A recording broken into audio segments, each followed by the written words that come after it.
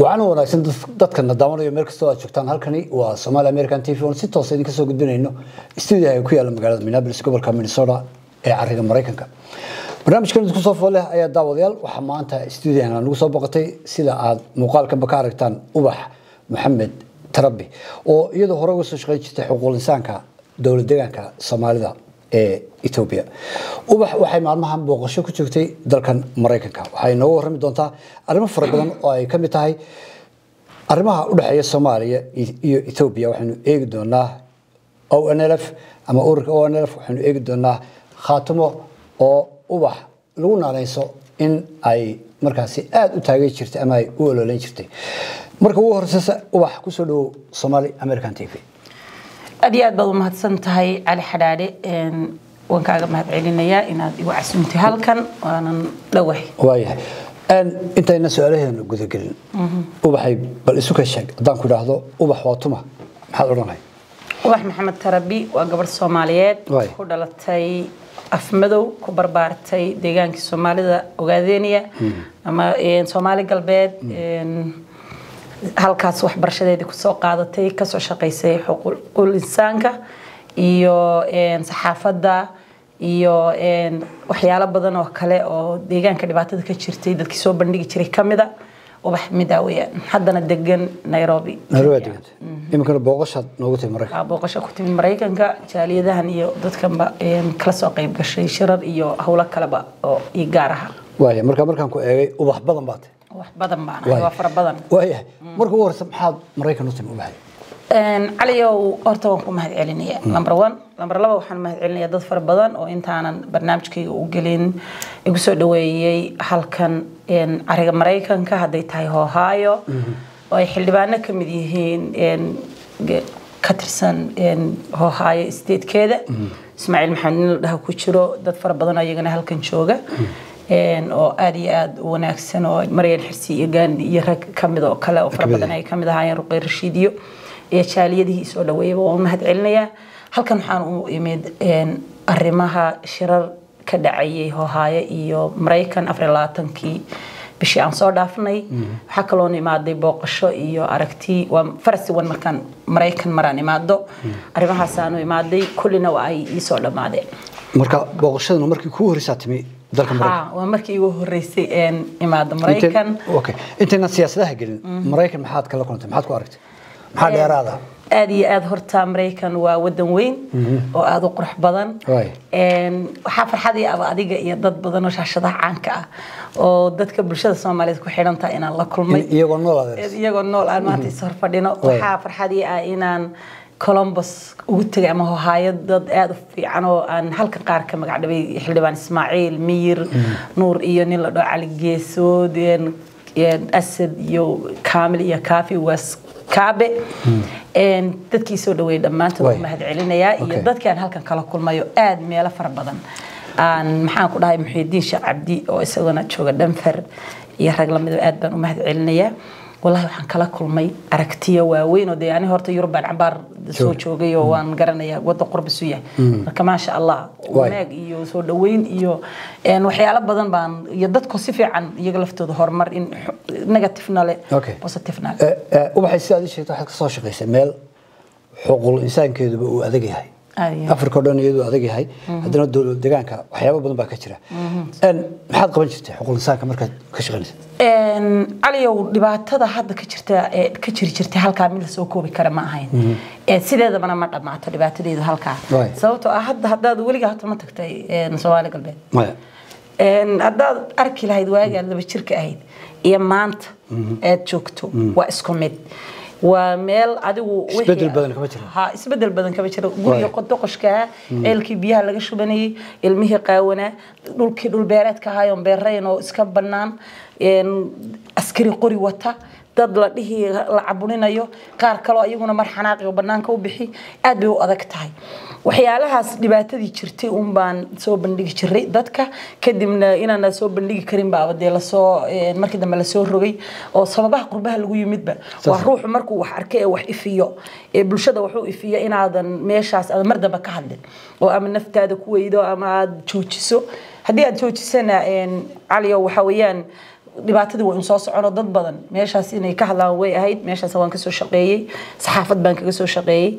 Xuquuqul insaanka kaga soo shaqeeyey. Taageerooyin kale oo badan iyo bulshada wax badan ooga soo bandhigaa kaga soo shaqeeyey.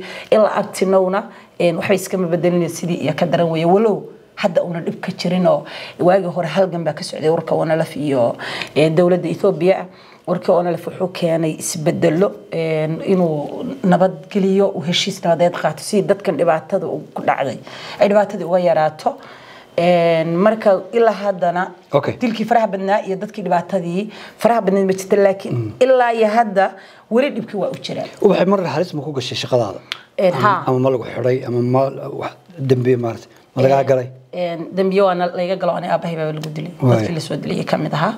Aabahay baan ku waayey hooyada iyo faamilka nagaa la xidhay mararkaan anigu ka shaqaynayay oo adiga daraada mise iyaga may hooyada iyo reerka naga dadkii uu laqa qabanayay baa lagu daray oo dhibaatada loo geysanayay marka halisa fara badan baan ku galay oo meeshaas maxaan ku dhahayay faamilkaygii baaba dee qaar okay weli waxaa jira imika bilahan u dambeeyey ama maalmahan u dambeeyey xuquuqinsaanku aad buu ugu liitaa halkaas waxaa jiray silsilado gabdha ah oo la toogtay ama askari garaacday ama la duudsiyey xaqoodii qaarkood la xidhay qaar darad baa ugu dambeysay gabadh isha xabad laga toogtay arrimahaas weli ma ku lug leedahay qoraalama qortaa ma ka doodaa mise sidaa berigaa aada faraha uga qaaday baad uga baxday walaahi caliyow kama qaadin horta in taas intaan u gelin halkan waxaan baaq uga dirayaa dagaalada beelaha ee ka socda gobolka doolo doolo waxaa ka socda dagaal ay dadkii beelaha islaynayaan dowladuna ayna waxba ka qaban inay ka gaabisay oo murug kasii kasii qaadayso maalinba intay isdaba marayso reer halkan ka ratay kuna dejin kii kale ay daba marin oo ayna heshiiska laga gaadhin oo maalinkii u dambeysay lix wiil oo dhallinyaraa lagu dilay taas halkan baaq baan uga dirayaa odayaasha ka hadlay ee qoraxay nogob doolo iyo meesha la dhihi jiray jigjiga jooga intaba waxaan rabaa inaynan afka ka hadlay arrintaa wax ka qabtaan taa markaan kasoo gudubno caliyow gabdhaha lagu garaacay magaalada jigjiga oo dhibaato loogu geystay qaar baa wiilaloo sawira meel ku galaya iyagana garaac iyo dhib loogu geystay. Arintaas weli waa ay socotaa mana ayna joogsanin. Waxa uu kaliya joogsaday qorigii dagaalka dadka la dilayay ee jeelkii loogu magacdaray bulshada lagu xareynayay taas unbaa istaagtay. Arintaana qoraalana waan ka sameeyaa kenadiid media meel dhaha ku qora waan waana ka hadlayo si life oo sidan oo kale baan uga hadlaa. Arrintaa waxaan leenahay dowladda deegaanka soomaalida iyo xisbiyaduba waa inay ka jawaabaan kilalada deegaanka nin walba kilalkiisa ku egyahay ninna odayaashiisa lama soo shiriyo. Odayaal maalinba intii la soo shiro la dhaho sida hadla oo waxaan macquul ahayn ku dhaha. Oo taariikhda iyo history xun inay u sameeyaan bulshada ma rabno. Arrintaa inaan laga wax laga qabto oo hadda qori laguma baaqayo. Qalin iyo heshiis iyo in dadkan xaqoodii nabadgelyo helaan baa la rabaa arrintaa waxaan rabnaa inay dowladda deegaanka soomaalida wax ka qabato waxaa igu maqaalaa waxay inaad tahay halgamaa. Dalka u soo halgamay ururkii ama jabhaddii onlf ka tirsanaan jiray ama taageeri jiray. Onlf horta maxaad ka ahayd? Ma taageeraad ka ahayd? Ma waxaad ka ahayd? Jabhad qof ku jira oo shaqaynaya. Maxaad kaalintay ku jirtay? Wallaahi onlf saxaafaddaan u qaabilsanaa arintan xuquuqul insaankana waan u qaabilsan. Anigaa waxaasoo dhan isu diray. Dhibaatada deegaanka ka jirta. Waxayna ahayd ruux kastoo damiir leh oo meesha jooga. Walow adigana ku dhahdaa tegi lahayd safka dhinaca kalead ka raaci lahayd sababtoo ah ruuxna uma dulqaadan karin dhibka deegaankii ka socday ama dhulkii soomaalida marka sidee isugu keenaysaa inaad xuquuq insaankii guudna ka hadashid dhinacana raacdo onlfna waa dhinac gooni ah waxay doonaan ha diidaan laakiin gees inaad taageertid. Wallaahi eh, waad isku keenaysaayo mm-hmm. markaad kolka hore dhinaca dawladda la hadasho ead aragta iyadoo kule ay ku caburinaysaa mm-hmm. oo ama kugu xidhayso saaxiibadaa dishay oo dadkii kule hortaa shaqaynaya la laayay.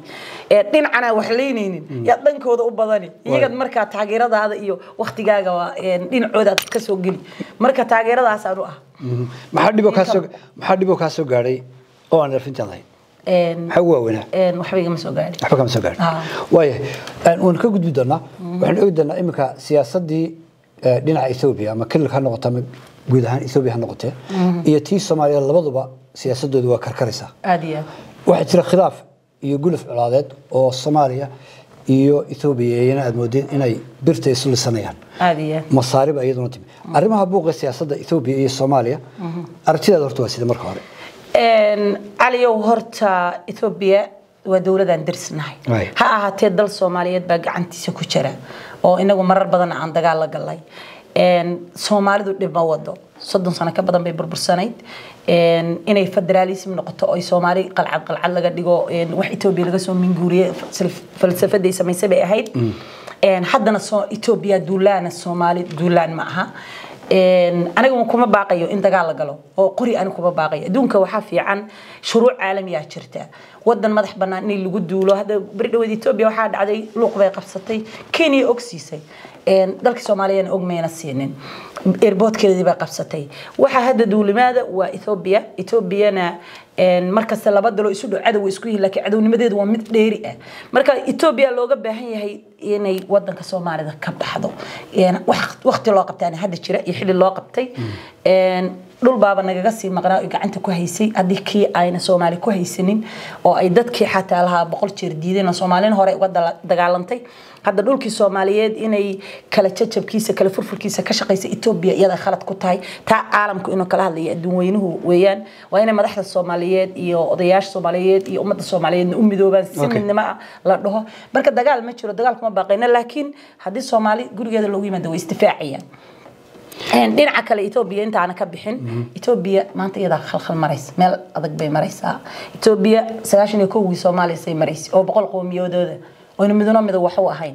oo tobanaan kun oo askariyiin oo isu dhiibaysa suudaan oo tigray meel ay isku xidheen oo intay la kala jabiyay eritrea qaar u tageen oo axmaara dhinac u jabtay oo jabhad ay samaysatay een, oo oromo keligeed hadda waxa een, etoobiyada lagu sheegaya waa un oromo oo qayb ka mid a etoobiya jirta hadda ma jirto la ummadda soomaaliyeed inay gulufka colaadeed etoobiya iyo soomaaliya iyo hadallada media la isu marinaya marka la eego shirar baa jiray. Eh, shir baa ka dhacay eh, dowlad deegaanka soomaalida. Odayaal waaweyn baa isugu yimid oo gobolka matalayay qaarkood cimaamad iyo koofiyaa sitay oday dhaqmeedka oo si cad mediaha uga lahaa annagu soomaaliba ma nihin ee etoobiyaan baan nahay qaarkoodna lahayn soomaaliya ama soomaalida dagaal cad baa naga dhexeeya.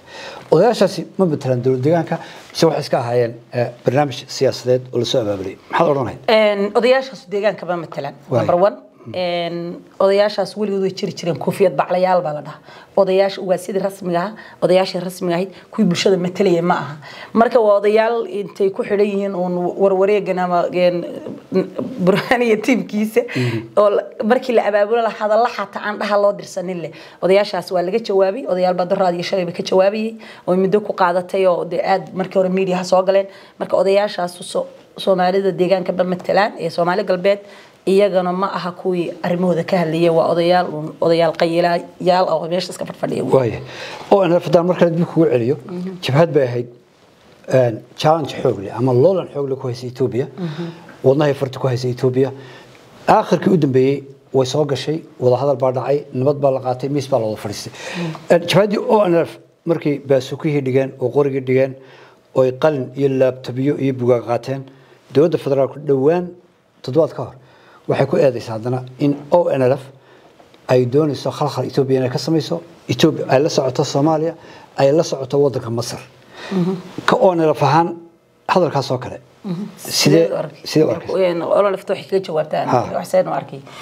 leef horta war-saxaafadeed bay soo saartay. Etoobiyana aan kuu waramay etoobiyadu ma aha etoobiya isbabedesho waxaa la ruux haddaan mara saarto ka qaado waa unkii etoobiya een, keliya owana lef ma aha horta waxay ku hawoonayso iyo dhulkan deegaanka soomaalida. Waa meesha ugu badan ee dagaal uu kaga socday. Dalka soomaaliyeed iyo badahaasay ku hawoonaysaa waa waxay soomaali? Waad maqlaysay ninkii axmaarka ay hadlayay daraad inuu lahaa een, waxaan rabnaa in la kala googooyo ummadda soomaaliyeed oo ma taale tiisii daryeela tu kale ku dara inkastoo asaga meesha uu hadda soomaali ku wada asaga laftiisu ka xun uu marayo oo xabad isu een, ay ku socoto oo een, caliyow waxaan tegin saxaafad saxaafadu meelaha dagaalku ka socdo ma tagto een, onaag waxay samaysay habeen dhaweed waxay soo gashay magaalada waxay qabatay afartan qof sagaal iyo labaatan baa u shaqaynayay een, dowladda een, abi sagaal iyo labaatan kurka intay kasoo geysay bac kusoo riday suuqa soo dhigtay iyada hadda halkaa maraysa laakiin owanalef heshiiska ay bulshadeeda ay u danaysay ee etoobiya la gashay weli nabadgelyaday bulshada ku joogaan waa intaa xisbi ahaana runtii aragtideeda waa hadda waa aad bay u adag yihiin waa xisbi awoodda haddii xataa maanta een, dhinac isu maraan way badan yihiin laakiin qori ma ayna qaadanin oo qorigii way iska joojiyeen oo qalin bay ku bedeleen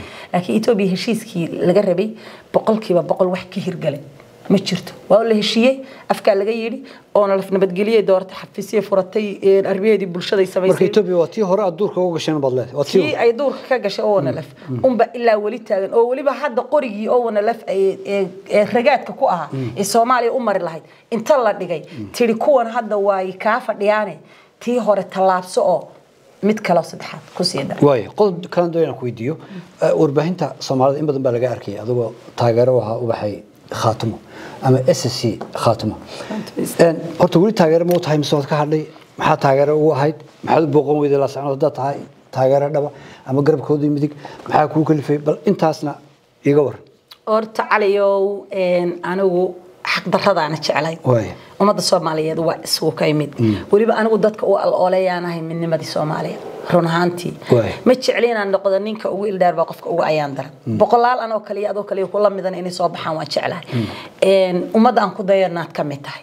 Khaatumi isteed dhibaata loo geystay waad ogeyd wixii lascaana ka dhacay kaaga sheekayn mahayo ani markaan khaatuma ka hadlayeen u aloolaynayo oon u dhawaaqayo waxay ahayd dhibaatada in laga daayo Ee, kadibna inay way isku tashadeen oo maamul bay noqdeen Een, khaatuma ma tegin waxaa isku aragnay madaxweynaha een, meesha la yidhaahdo nairobi cabdiqaadir firdhiya u yacasumay inaan lascaana imaado laakiin waana waana tegi doonaa laakiin weli ma tegin Een, halkanse waxaan rabaa inaan cod dheer u gudbiyo dowladda soomaaliya. Khaatuma state of soomaaliya waxaan rabaa in la aqoonsado. Ee, ra'iisul wasaaraha horta waan isku aragnay isagana nairobi. Madaxweynaha hadda markaan tago xagga waan is arki doonaa.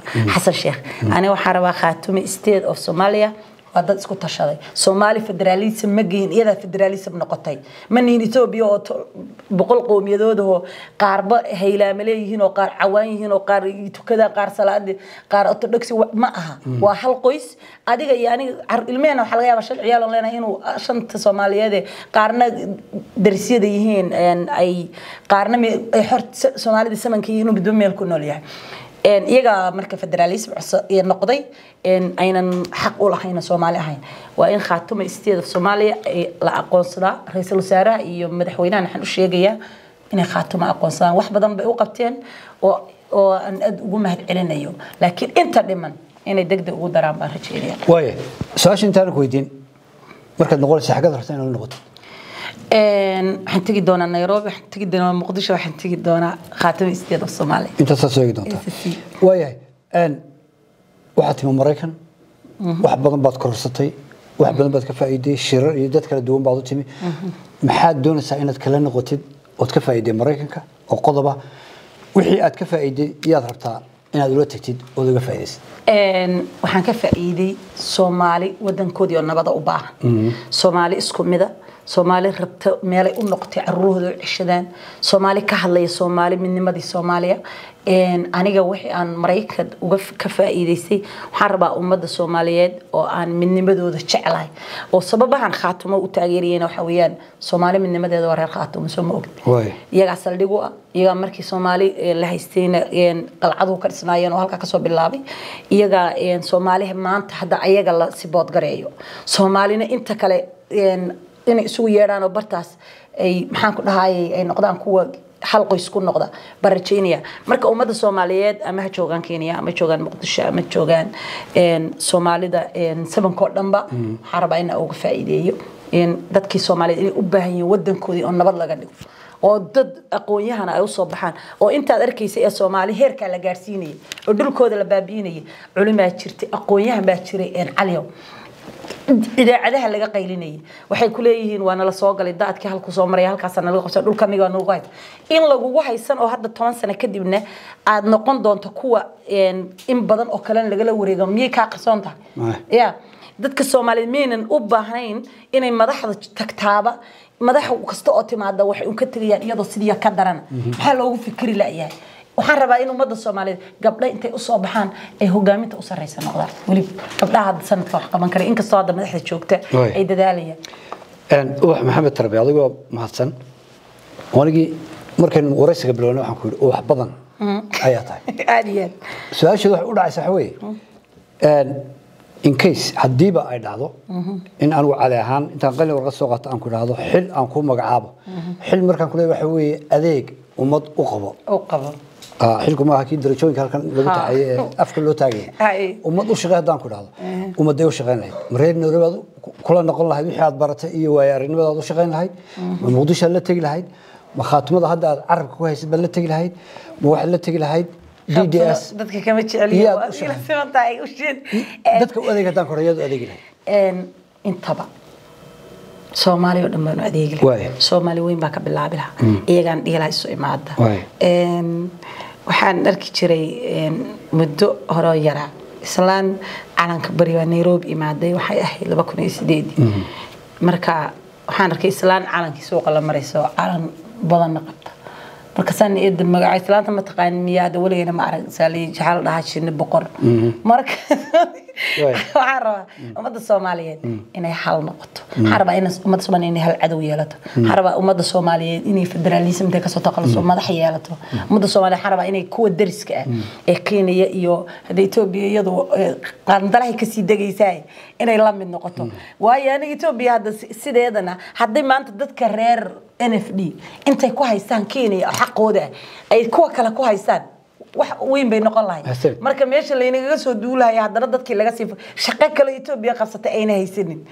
Moodo inaynan indho kalaba lahayn wax kalaba cadow kale male baahidooda male bad iyo beri wax walba inay inoo soo ummadda soomaaliyeed midnimadooda iyo wadajirkooda iyo caqligooda iyo nabadgelyadoodan ka shaqayn lahaan hagaag. Aad iyo aad baad mahadsan tahay ubax mahadsanid mar kale. Aad iyo aad daawadayaal intaasi ayaan ku soo koobaya waraysigaasi kooban ee aan la yeeshay ubax maxamed trabi oo inagu warramisay arrimaha soomaaliya iyo etoobiya dowlad deegaanka soomaalida ee etoobiya guud ahaan soomaaliya oo dhan iyo weliba o n l f iyo s s c ama khaatimo tan iyo kulankan dambe daawadayaal waraysi kan oo kale intaan dib u kulmi doono inta ka horreysa waa cali xalaadho dhammaantiin badi kaga tegay sidaa iyo nabad gelyo